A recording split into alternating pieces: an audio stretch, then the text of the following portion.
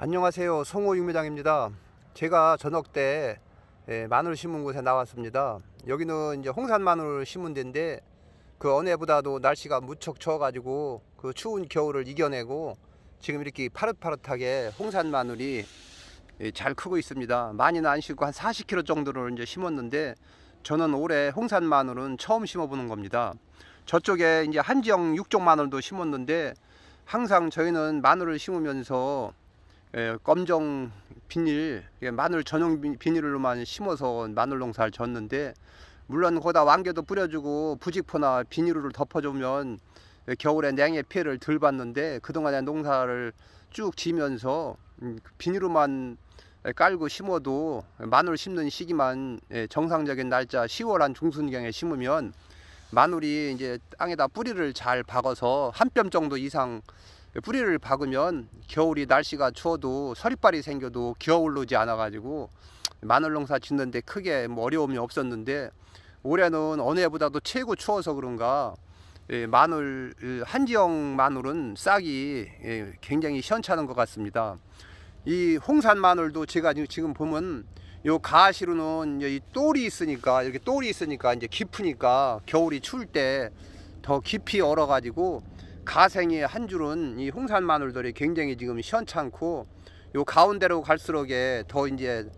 땅이 덜 얼으니까 그 냉해를 덜 받아서 그 생육 상태도 더 좋고 예, 죽지를 않은 것 같습니다. 그래서 이제 올해는 마늘 농사를 이제 지면서 이제 정상적인 날짜에 심지만 이제 가을에 이제 홍산 마늘은 9월 한 말경에 이제 심으면 이 한지형 육종 마늘보다 한 20일 먼저 심어야 되기 때문에 심는 날부터 바로 뿌리를 내려서 이제 마늘이 이제 크기 때문에 이제 가을에 이제 9월 말경에 심으면 이파리가 한 6, 7장까지 나올, 나오니까 그 위에다 부직포를 덮던지 아니면 요즘은 강선도 비싸지 않으니까 강선을 좀 꽂고 헌 비닐로 덮어주고 숨꼭만 좀 뚫어주면 예, 겨울 나는데 예, 전혀 마늘이 냉해 피해를 안 받을 것 같아서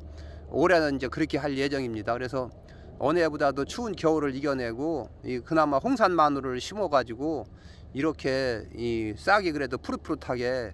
이 마늘 농사를 그래도 음, 괜찮게 된 것 같습니다. 근데 저쪽에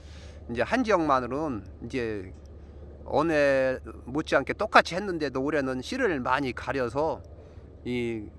워낙 추워가지고 이 마늘 싹이 굉장히 시원찮아서 영상을 찍게 됐습니다. 그래서 앞으로 이제 홍산 마늘을 더 이제 계속 이제 관찰을 하면서 이제 볼 테지만 현재 상황으로는 그 추운 겨울을 이겨내면서 부직포도 안 덮고 비닐도 안 덮었는데 가생이만 한 줄씩 좀 시원찮고 예, 그런 대로 아직 마늘 싹이 괜찮은 것 같아서 영상을 찍게 됐습니다. 그래서 이 홍산 마늘은 유튜브 들어가시면 홍산 마늘을 쳐서 보시면 이 마늘 판매하는 데가 많이 있으니까 이 홍산 마늘이 필요하시면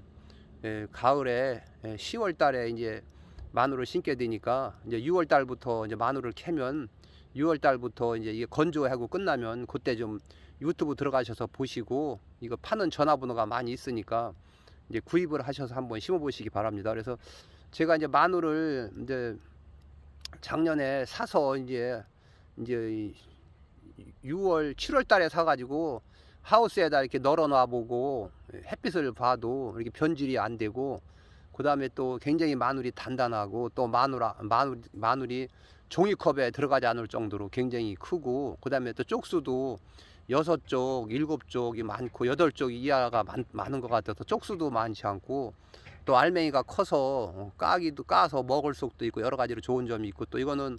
또 기능성 마늘이라 음, 굉장히 또 건강에도 더 좋고 그래도 이거는 또 마늘을 까보면 이 끄트머리가